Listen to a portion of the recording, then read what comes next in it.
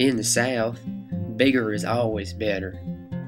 That's why Southerners know that when it comes to a mouth-watering Texas-sized meal, the battle of spice is easily won.